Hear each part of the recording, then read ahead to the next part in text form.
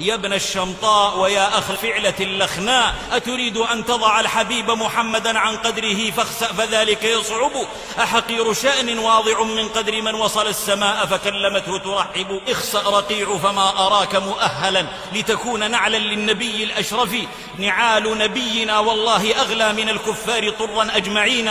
نعال نبينا والله أبهى وأجمل من وجوه الكافرين. يا ابن الخبيثة من أهجو فأفضحه. إذا هجوت وما تعزى إلى أحد دهمك السيل ولك الويل. لقد رفع الله ذكره ولا خافض لما رفعه الله وجعل اسمه مقرونا باسمه تهتف به ملايين الشفاء. والله لو حاولت ومعك رويبضات النصارى والبشر والمواشي والبقر أن تنال من سماء شريعة محمد صلى الله عليه وسلم ما أفلحت أبدا. وسيبقى حجة عليك إلى يوم الدين وشوكة في لهاتك إلى يوم يبعثون. والله متم نوره ولو كره الكافرون إنا كفيناك المستهزئين. أي أشيمط كم قد قتلتك بالهجاء ولم تمت؟ إن الكلاب طويلة الأعمار.